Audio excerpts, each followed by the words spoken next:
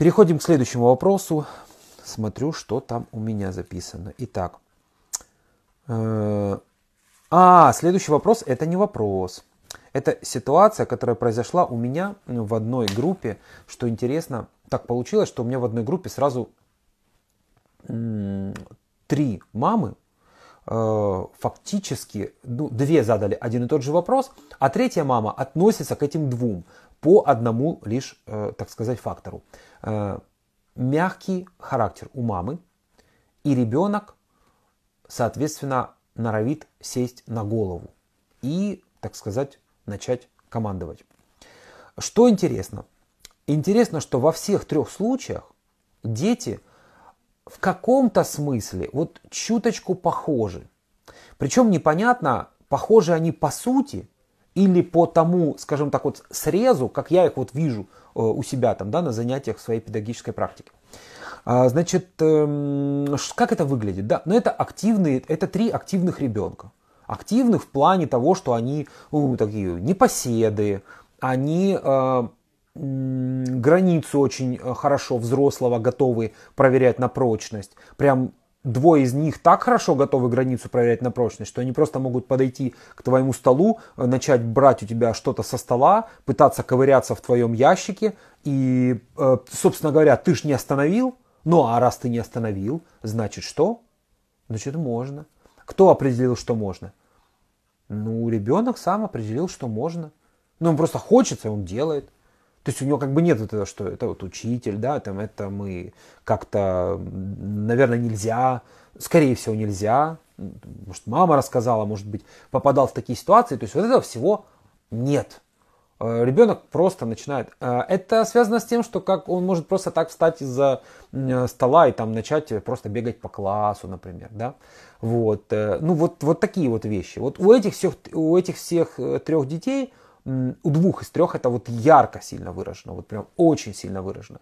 И тут вопрос, что делать маме, которая вот четко понимает, что характер мой мягкий. И я не та мама, которая будет орать, я э, не та мама, которая будет, э, например, там э, сильно, скажем так, э, э, там рукоприкладством точно заниматься не будет. Вот. Но получается, что иногда, когда уже вот, э, вот это все накопилось, и оно уже вот, вот просто уже вот тут вот все подошло, вот это вот непослушание, вот это все, да, то в принципе я, конечно, могу, на, я, конечно, могу разораться серьезно. Ну, потому что эффект э, переполненного э, ведра, да, то есть воду наливаем, наливаем, а уже дальше ведра нет, вода что? Через край. Ну вот, ну то же самое здесь. Э, значит, я бы, если вдруг кто-то сейчас из э, слушающих это видео, из присутствующих в эфире или смотрящих это видео, тоже узнал в себе маму с мягким характером, с которой ребенок поступает, ну, где-то вот похожим образом, то я бы вам посоветовал начать буквально с одного, э, с одной техники, которая замечательным образом описана в книжке Джона Грея «Дети с небес».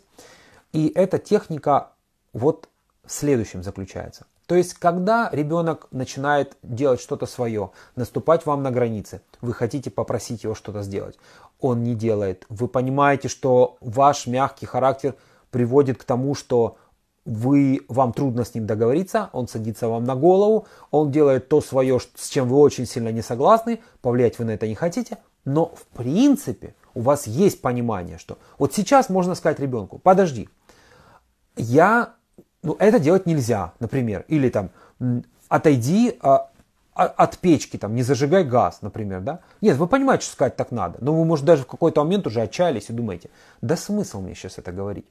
Он все равно не отойдет. Он все равно будет это делать. Я сейчас знаю, что будет. Вот я знаю, я ему скажу раз, я ему скажу два, потом я буду орать на него, и потом буду себя ругать за то, что я орала, а он, и, а мы, ну и как бы он уже отойдет просто из чувства страха, Потому что мама просто вдруг резко стала немножко неадекватная, как будто бы, а, ну и вдруг мне там прилетит. То есть вот только такой способ как бы, да, доступен.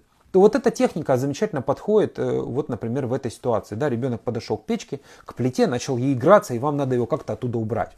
А, эта техника выглядит немножко странно только лишь на первый взгляд, но когда вы начинаете ей пользоваться – может даже будет такое, что в первый раз вы будете ей пользоваться и просто даже рассмеетесь. А рассмеетесь вы потому, что вам станет смешно, что вы так делаете, как в этой технике сказано, а потом станет смешно, что это сработало. Техника заключается в следующем. Когда мы хотим ребенка о чем-то попросить, и у нас такая запущенная ситуация, мы начинаем его просить, повторяя одну и ту же фразу, безэмоционально, до тех пор, пока ребенок не сделает то, о чем вы его попросили. Например, подошла Машенька к печке, начала играться. Вы говорите, Машенька, отойди, пожалуйста, от печки, это опасно, я не хочу, чтобы ты там игралась. Это опасно для тебя. Ну, Машенька, естественно, ну, мама с мягким характером, я могу все равно буду играться этой печкой столько, сколько захочу. Я уже это делала много раз, и не только с печкой, мне плевать. Я продолжаю. Машенька, я хочу, чтобы ты сейчас отошла от этой печки, это опасно, отойди, пожалуйста. Машенька опять думает, ну, понятное дело. И вот не начиная кричать, не начиная говорить так, Машенька, ну что ж ты, уже да, там вы устали, да, например. Нет, вот монотонно, безэмоционально вы повторяете свою родительскую просьбу, которая звучит одинаково. И может быть такое, что первым раз, когда вы будете это делать, второй, третий, пятый, поначалу вам предстоит это сказать действительно, э, ну, очень много раз. Э, например, 10. И когда, и вот здесь вы можете рассмеяться, что вы просто как попугай сидите и повторяете, что вообще непонятное, что за техника идиотская какая-то. Вот, а вы говорите, Машенька, я хочу, чтобы ты отошла. Машенька, я хочу, чтобы ты отошла, печкой нельзя играть. И вот вы говорите это, говорите, говорите, и уже думаете, бред какой-то. И в какой-то момент вы понимаете, что Машенька отошла и перестала ей играться. И вы дальше попробовали сделать еще то же самое. А дальше попробовали сделать еще то же самое с каким-то другим. И потом вы понимаете в какой-то момент, что то количество раз, которое вам пришлось повторять, когда вы первый раз воспользовались этой техникой родительских просьб, вот в таком виде, это было смешно и много, а в дальнейшем вы понимаете, что количество раз уменьшается, и ребенок начинает вас быстрее слушаться. Что здесь самое ценное?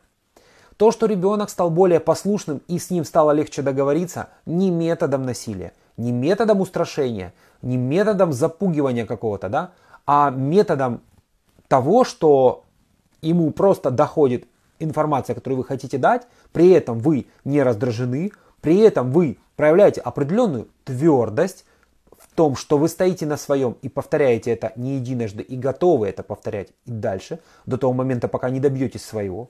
Ребенок начинает понимать, что если меня о чем-то попросили, эта просьба не э, будет э, единоразовой, если я не сделаю, все-таки мама своего добьется. Отношения с ребенком не ухудшились, потому что вы не э, поддались эмоциями. Просто у вас правило такое, вам деваться некуда. Вы безэмоционально поговорите одно и то же до того момента, пока ребенок не сделал. Все. Но говорите это твердым голосом. Конечно, тут как бы да, опять золотая середина. То есть не мягким, Машенька, отойди, пожалуйста. Печка опасна для детей. Отойди, пожалуйста. Не вот таким. Ну и не таким, что Машенька отошла, я сказала. Так делают другие мамы, которые мягким характером никогда не отличались. А вот средняя интонация, но твердая – вот она приводит к такому. Поэтому а, я бы вам советовал пользоваться этим, если вдруг вы сейчас, кто смотрит это видео, увидели в себе вот такую мягкую маму, которая не всегда может достучаться до своего ребенка, а хотелось бы. Причем безопасно, причем эффективно. Вот это для вас как раз техника. Родительская просьба. Монотонно повторяем, безэмоционально, но твердо, до того момента, пока ребенок не сделает то, что нужно.